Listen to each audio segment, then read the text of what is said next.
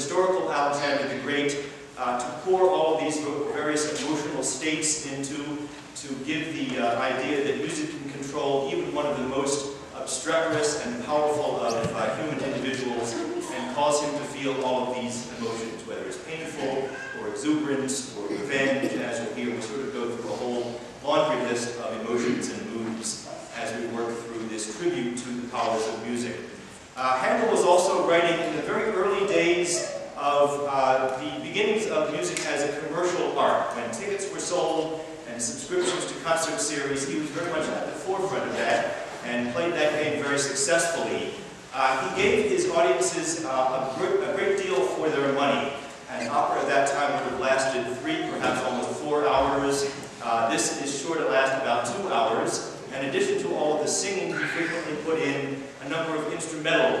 works, concertos, uh, organ concertos, uh, the form of which he sort of invented himself and would have played himself, and a variety of other instrumental forms that he put in, uh, inserted at various times to his uh, vocal compositions to add to the entertainment and to give the audience a lot to listen to. So you'll get a little bit of that tonight as well. I promise that you'll get home for the 11 o'clock news.